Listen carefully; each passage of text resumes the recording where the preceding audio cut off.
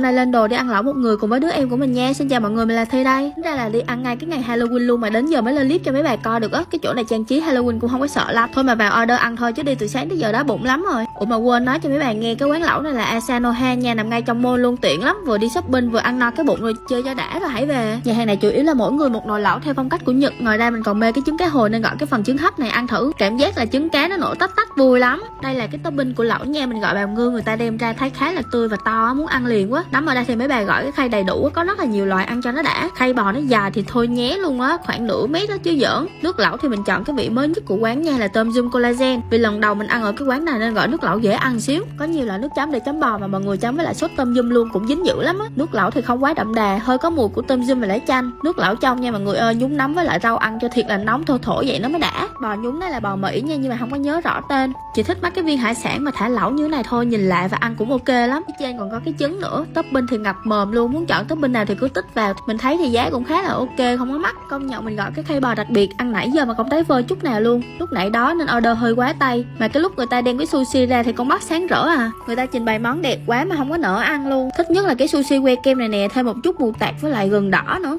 Nhìn thì nó hơi đơn giản, chỉ có cơm cuộn thanh cua thêm một xíu sốt lên thôi mà mình muốn ăn thêm một cái phần nữa luôn. Cơm bằng lại với salad cá chích cũng lạ miệng á. Thôi chén miệng với kem rồi dạo môn chứ không là no cạnh hông rồi đó. Kem dâu ưng cái bụng quá màu cũng đẹp nữa. Bye bye mọi người.